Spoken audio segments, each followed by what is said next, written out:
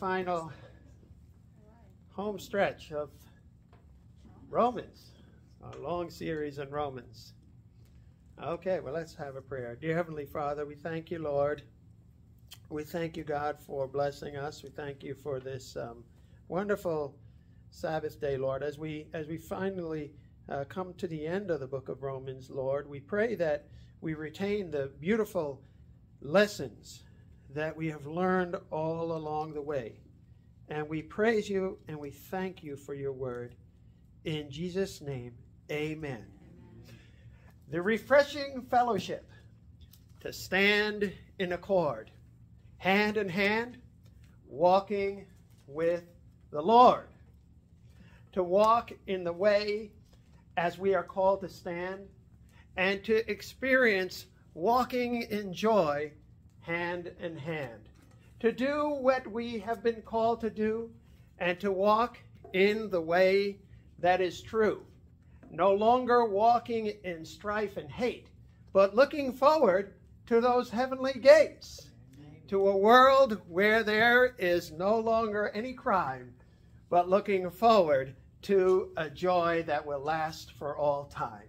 Well, this is the final message. I, I didn't even have time to make a poem. That poem I kind of put together just on the spot today because I didn't have the time. but I said, well, let me, I got to end the, this discussion with a poem. I have to end it with a poem. Well, um, so we're talking about Romans 16. The last time we were talking about Andronicus and Junia. We were looking at verse number 7 and one of the points that's important to consider is that all these people that Paul is speaking about here in this chapter, we don't really hear much, if any, about these people throughout the book of Romans or, or in the rest of the Bible.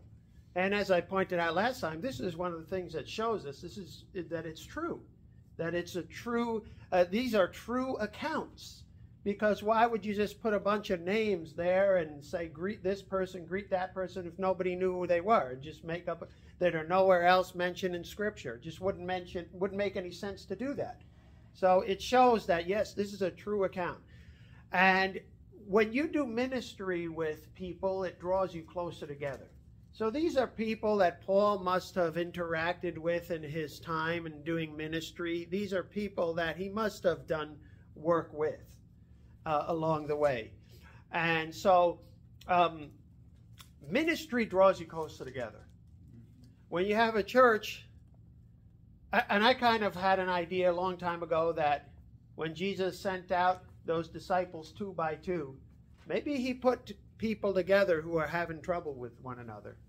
You know, because once you do ministry with somebody, if you're having conflict with that person, but now you're doing ministry together, and you're working and you're interacting, you know, with other people who may be challenging you, who maybe you, it draws the two of you together. And I remember that experience in one of my previous churches back in New York that uh, there was some tension there in the church, but when we did ministry, people came together and it drew people together. We went doing door to door, and it actually would draw the people together when you interact with other people and do that ministry in the Word in particular. When you do that ministry in the Word and you share, and you, but I think also in doing other forms of ministry, like doing what you're doing here and the food bank and other kinds of ministry, it draws you closer together to minister. And so I think that's one of the reasons why we see uh, Paul knows all these people. You know, it, it's it's it, it you know it's easy to forget people's names when you come to a church and you forget people's names and you and and then uh, but when you work with other when you work with people you have experiences in the lord with them that really i think draws you together.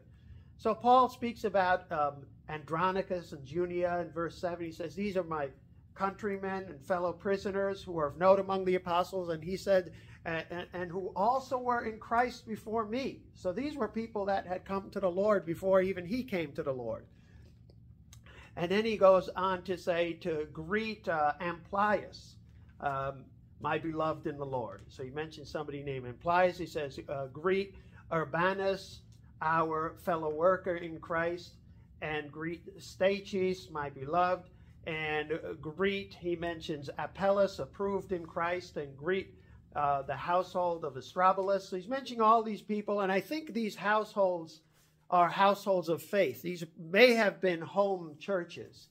That, as I mentioned last time, we were talking in verse 5 about greet the church that is in their house, talking about uh, Priscilla and Aquila. So these may have been home churches. He says, Greet Herodian, my countrymen. And he, in verse number 11, greet Herodian, or is it Herodias or Herodian? I get. Huh?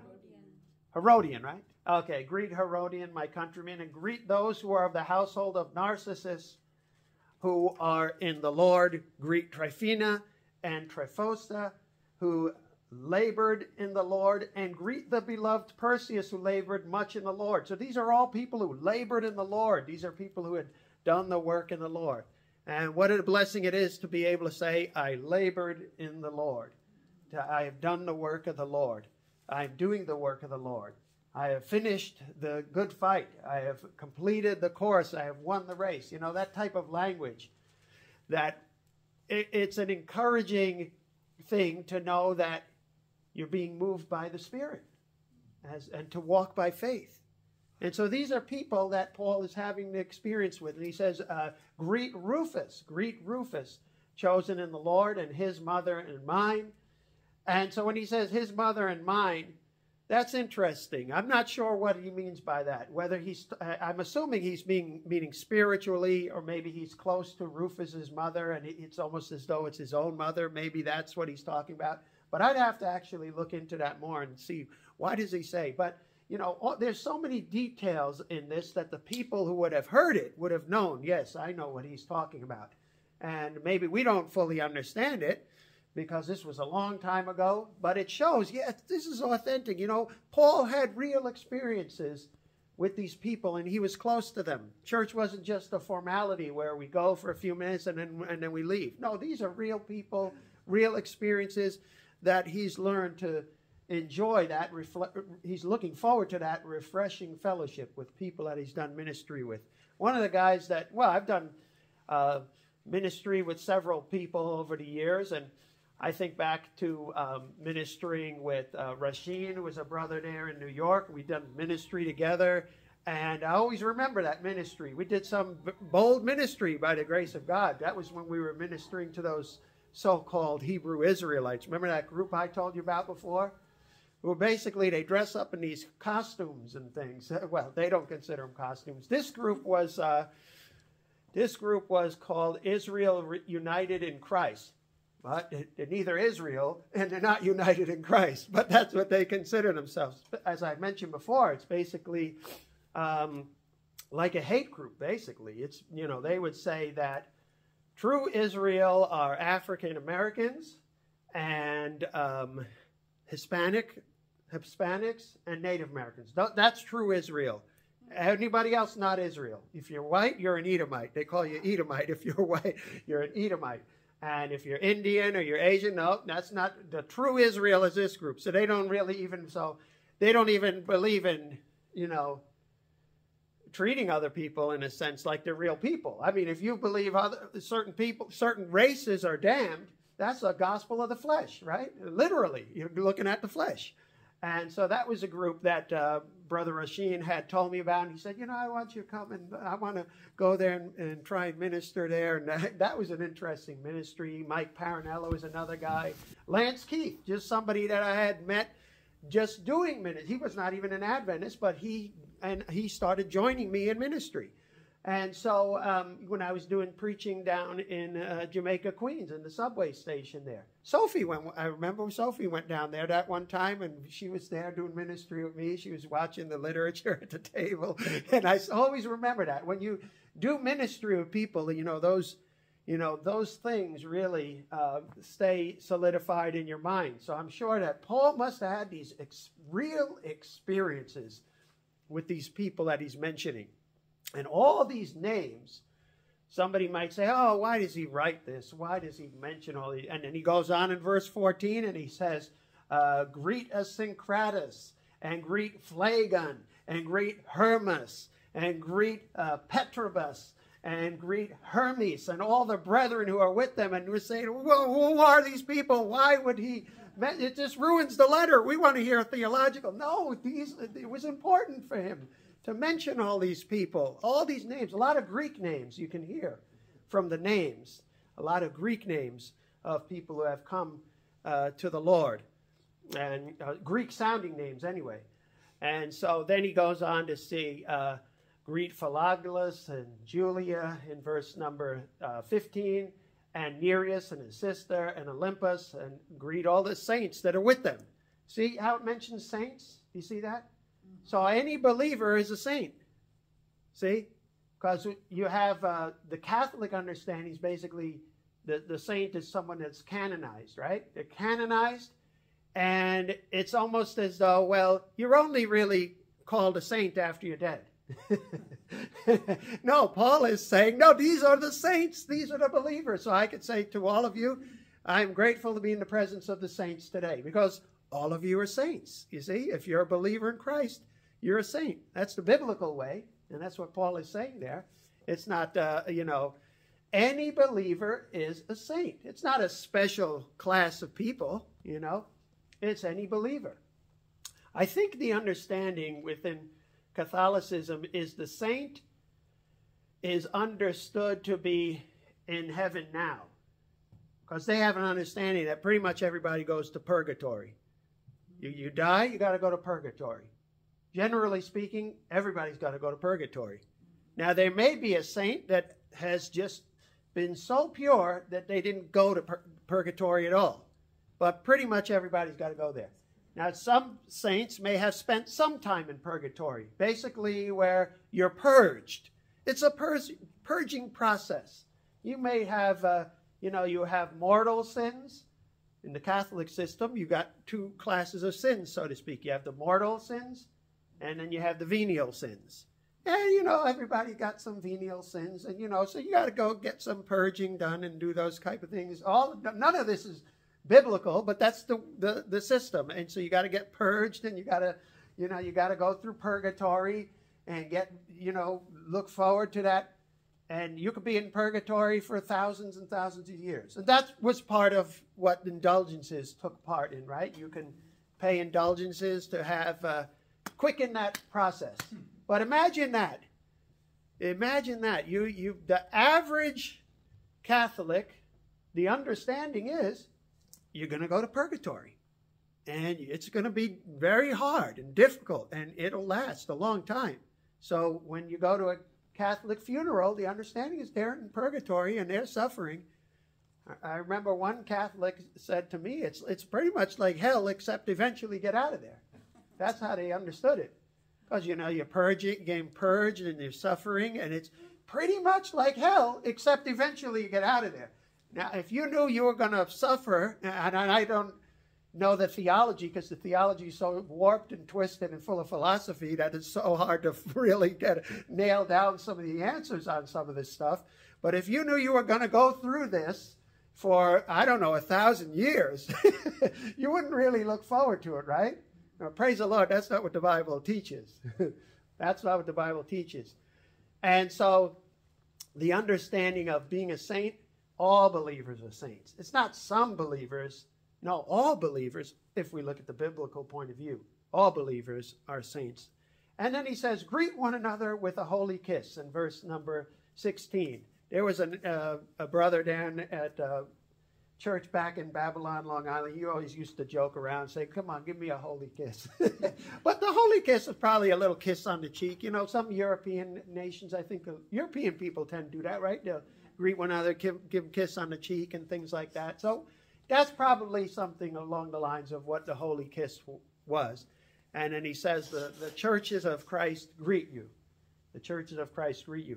And then he says something in verse number 17. He says, Now I urge you, I urge you, brethren, to note those who cause divisions and offenses contrary to the doctrine you learned. Doctrine. Some you live in a world where people say a doctrine's not important. No, Paul is saying, note those who cause divisions and offenses contrary to the doctrine you learned and avoid them. See, a doctrine is very important, right?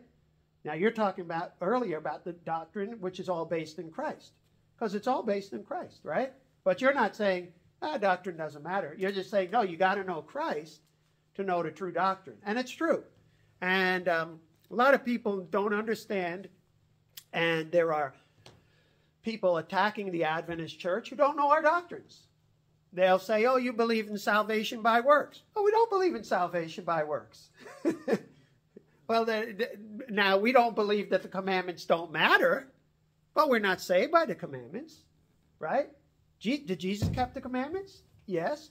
And if Christ is in me and his character is in me, well, then, uh, 1 John 5, 2 and 3, I'm going to love the law. It's not going to be a burden to me, right? Or what we see in Revelation 14, 12. And people play games and they say, oh, well, that's, uh, the word that's used there is, it's not the same word. It doesn't mean the commandments or the Ten Commandments. Well, just look in Mark, as I said it before, 10, 19, same word is used there. And let me turn there quickly, make sure I got that one right. Mark 10 19, uh, which says, And you know the commandments. That's the same word. Do not commit adultery. Do not murder. Do not steal. Do not bear false witness. Do not defraud. Honor your. Aren't those the Ten Commandments mentioned? And the same word is used. The same word's used, that's used in John 14, 15. If you love me, keep my commands. Same word is used in Revelation 14 and verse 12. This is the patience of the saints. These are those that love the, uh, uh, that, that uh, uh, keep the commandments of God, right?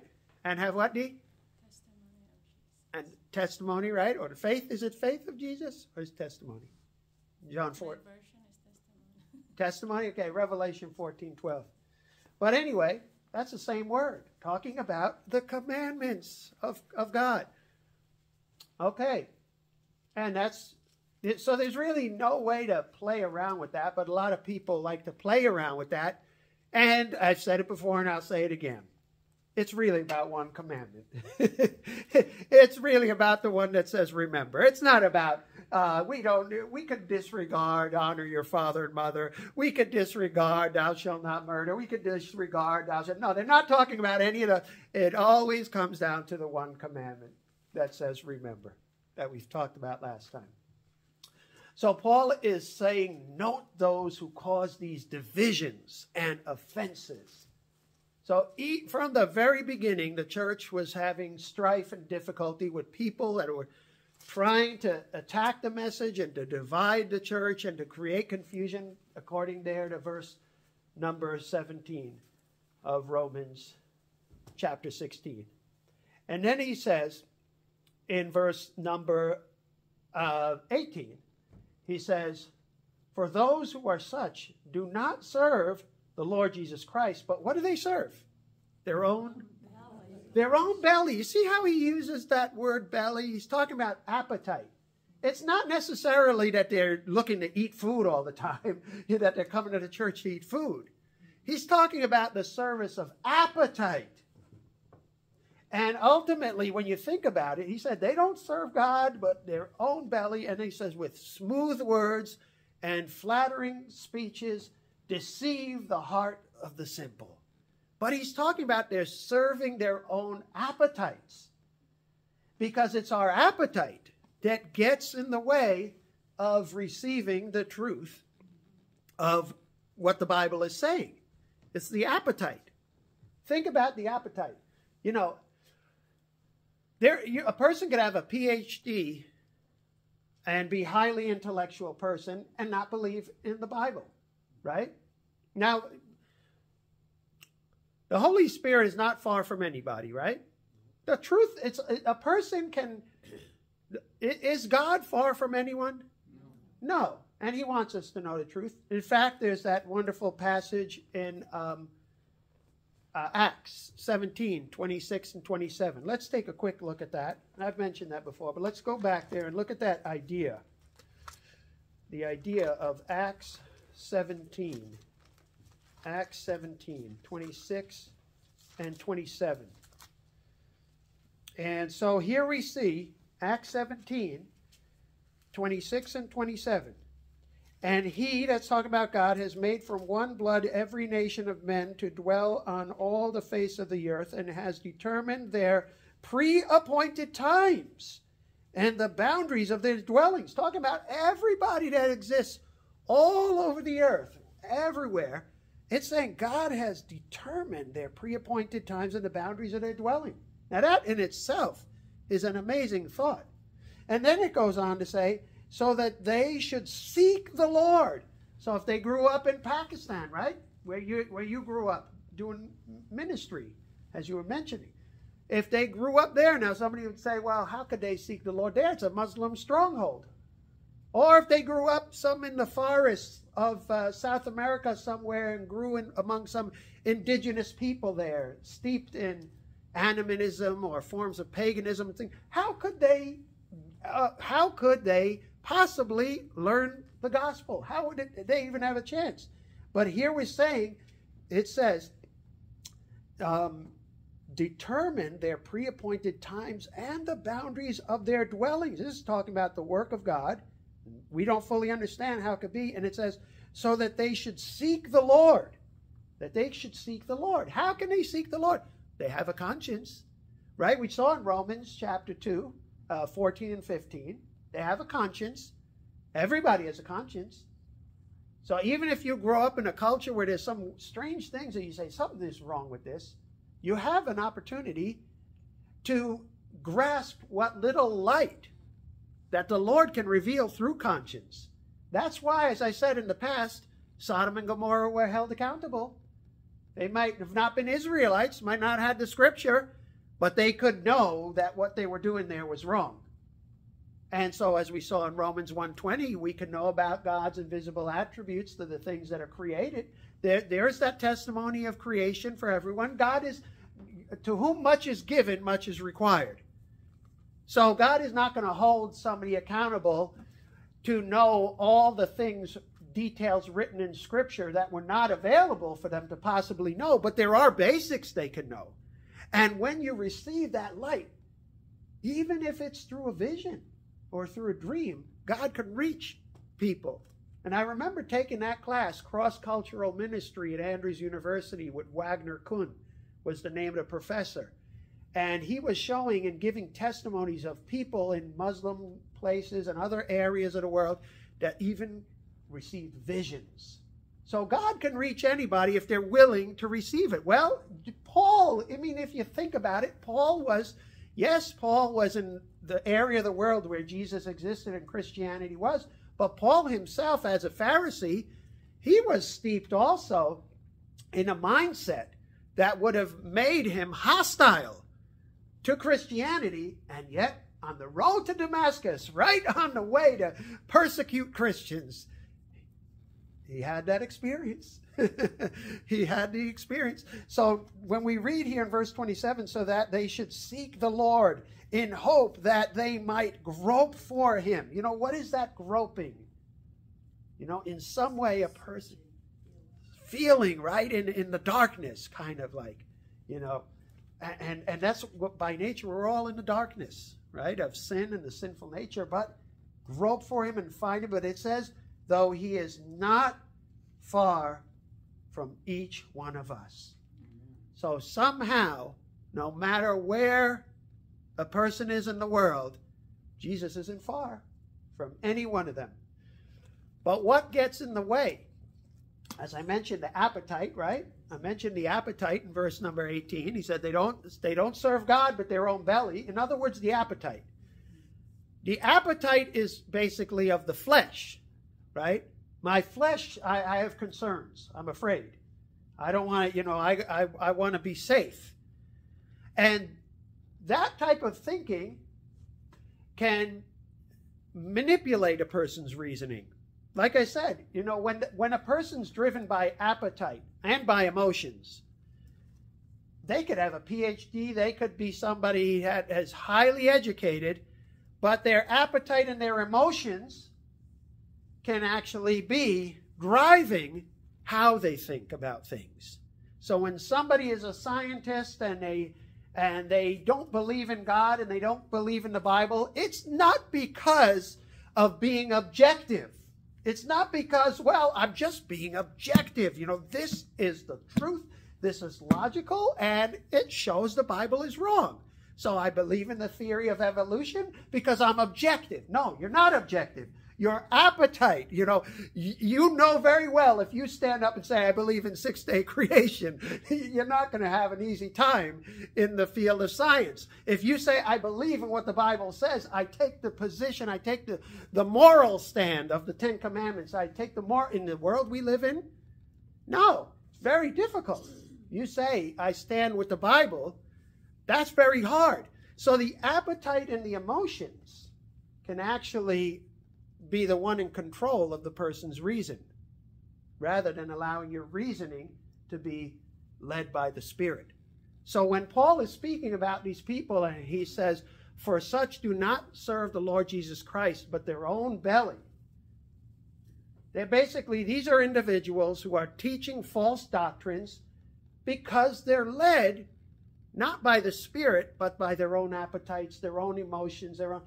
And you know, uh, a person could have a PhD in some area of religious studies. They could have a PhD in biblical languages and Bible history, and you know, in theology and stuff like that, and teaching falsehoods just the same way. Because, well, the Pharisees were very, very smart, knowledgeable people, weren't they? And they were led by appetite.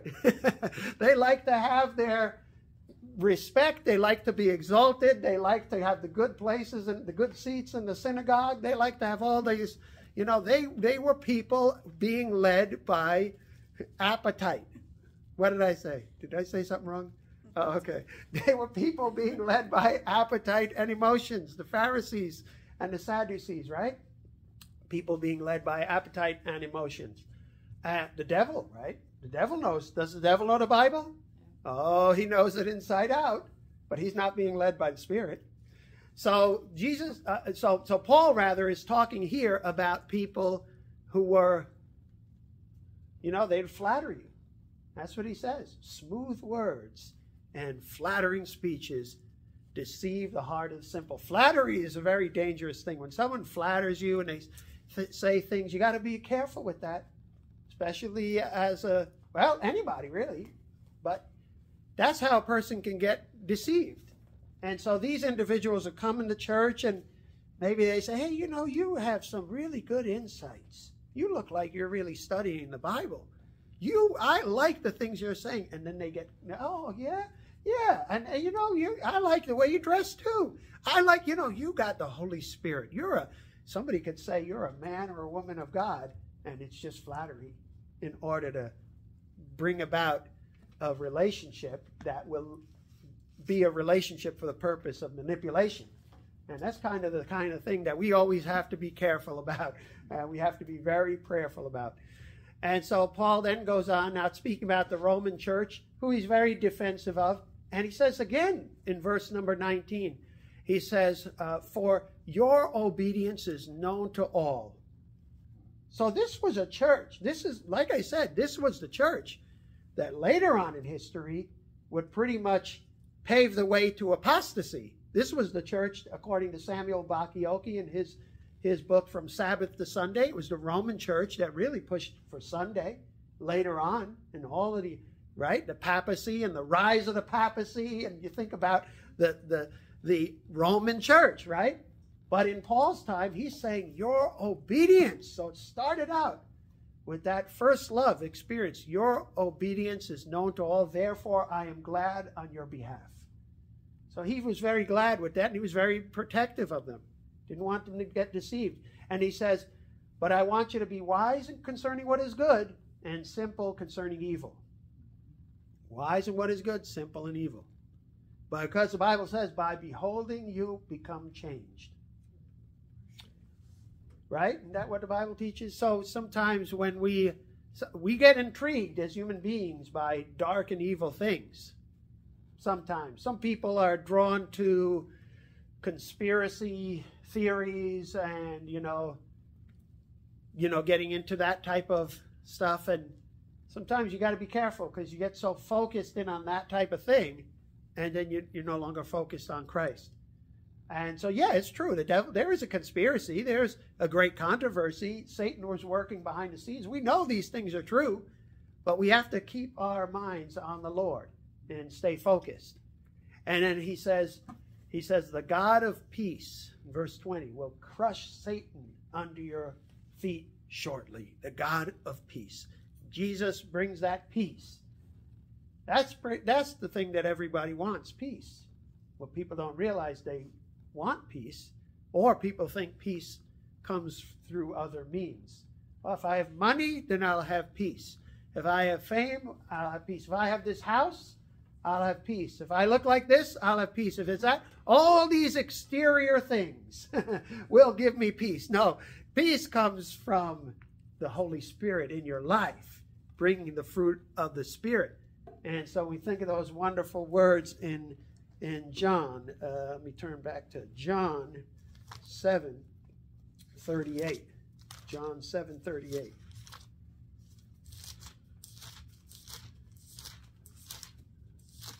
John 7 and verse number 38.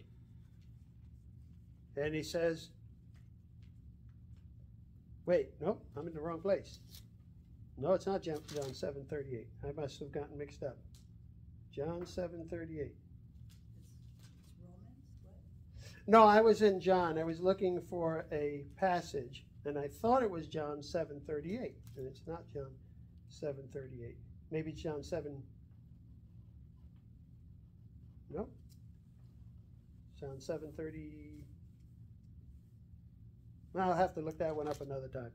Is it John 7:48? Let me see. John 7:48. No. Nope, nope, nope.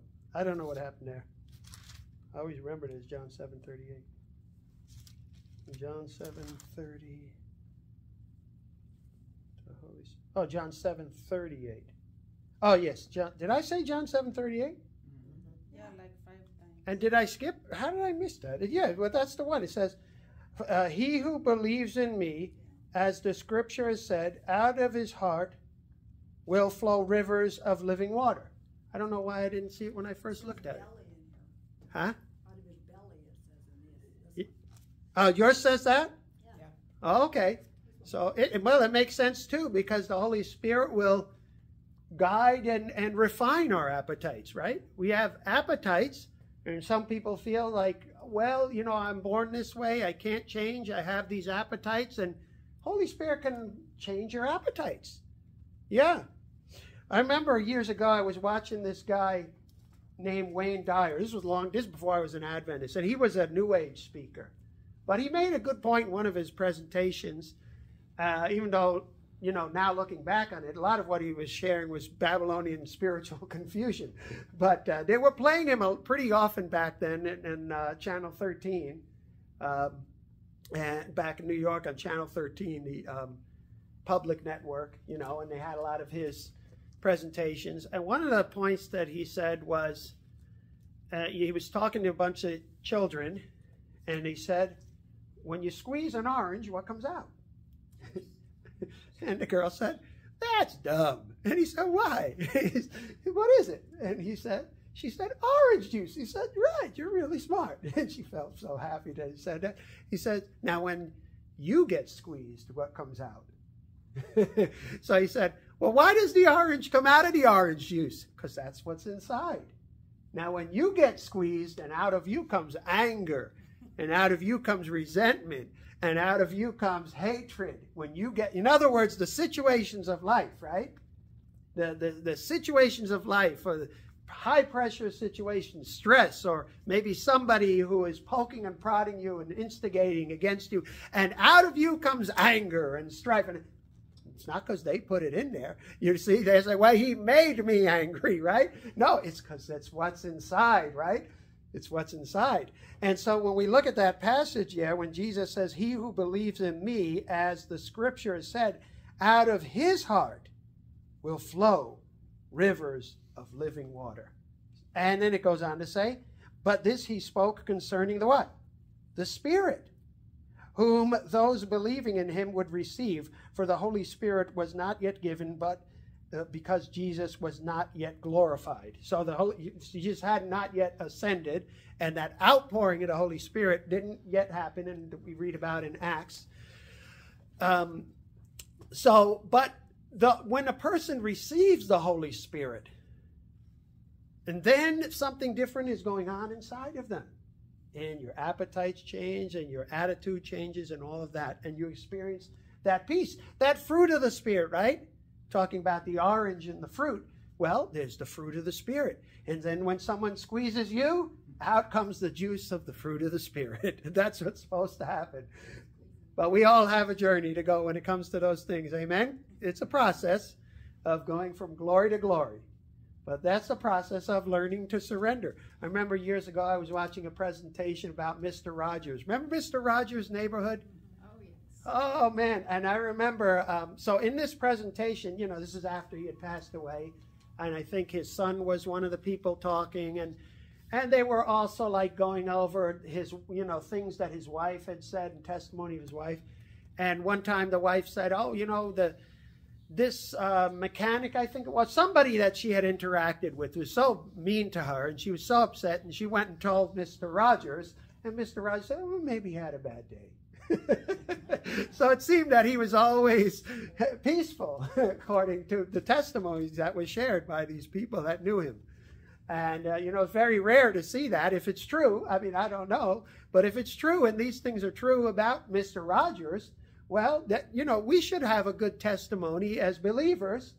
And um, I always tell that story about that woman that was the worst, meanest customer that we had back when I used to work in that health food store. I used to work in a health food, you know, it was a natural. Uh, you know, it was one of those places with herbs and all of that stuff. And this was years ago, before I was an Adventist. And this woman came in was the worst and meanest customer that I'd ever seen. And it was around the time where this other guy that I worked with started inviting me to the Adventist church. And I went to the Adventist church, and then I saw that woman there, and she was happy, Sabbath, and smiling. so, so, uh, but I remembered this was the lady that was the meanest customer that in my whole experience.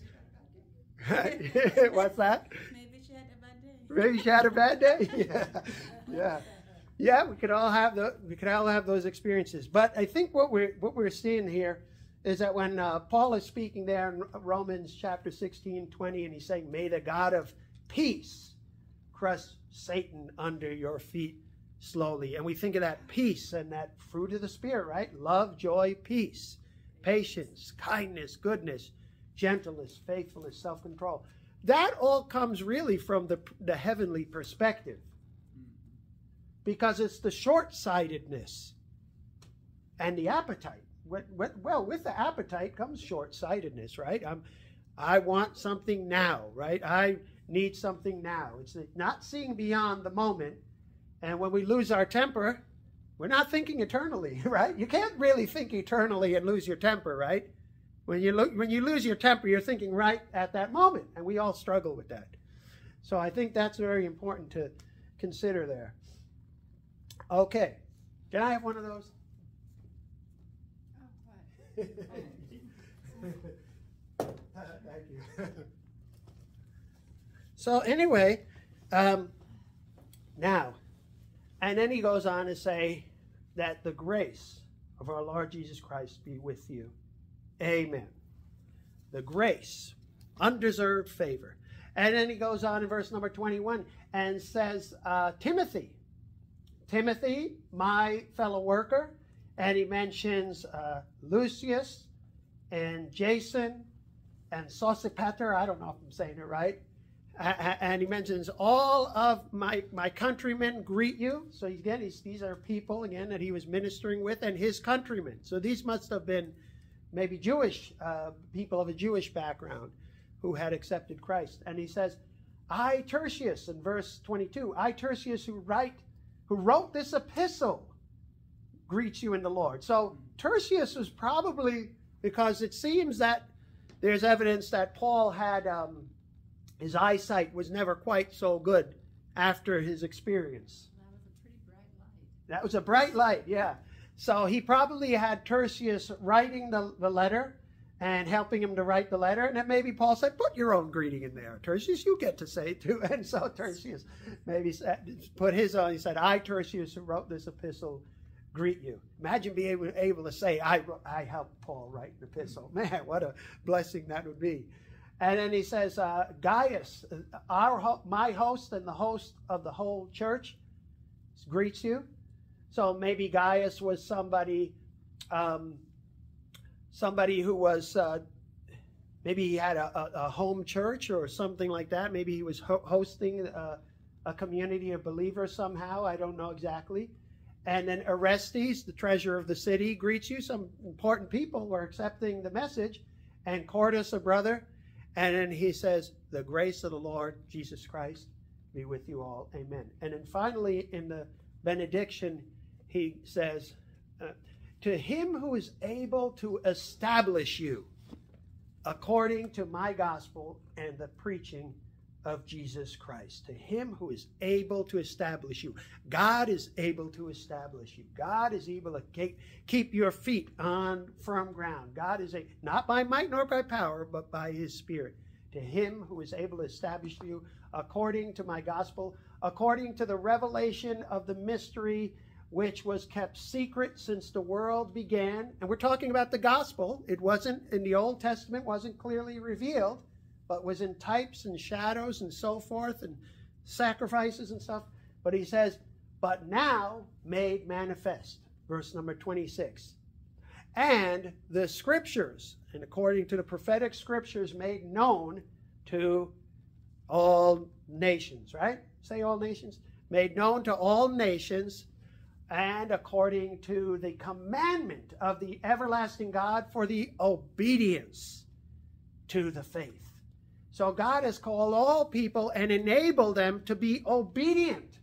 See, the gospel is not simply a gospel of, well, Jesus died for me, now I can go live lawlessly. The commandments do play a role, not in that you're saved by the commandments, but if you're in Christ, you're going to keep the commandments. You're going to experience victory over sin. The gospel is a gospel of victory. And so finally he says, To God alone wise be glory through Christ Jesus forever. Amen. God alone wise. I love that. All wisdom comes ultimately through Christ. To God alone wise be glory through who? Jesus Christ. Jesus Christ. So Jesus glorified God. Jesus revealed the love of God. Jesus said, If you've seen me, you've seen the Father. Jesus is the one who, you know, the Bible says in the beginning was the Word, the Word was with God, the Word was God. We say Jesus is the love letter, the living love letter of the Father. And so he glorifies the Father. To God alone wise be glory through Christ Jesus forever. Amen. And that is our final uh, wonderful ending to the beautiful book of Romans. Let us have a prayer. Dear Heavenly Father, as we consider this final chapter, Lord, all of these greetings, all of these details of how your servant Paul was remembering as he was closing this letter, just remembering in his memory all these people that he knew, all these people he'd done ministry with, Lord. Lord, we look forward to the new heaven and the new earth where we're going to see faces and people and have memories, Lord, memories that glorify you, Lord. And we look forward to that experience. And we look forward to that time to come. But while we are on this side of eternity, help us go from glory to glory. Help us to be strengthened and to remember that you alone are wise. And you empower and strengthen us by your Holy Spirit to have victory after victory. In Jesus' name, amen.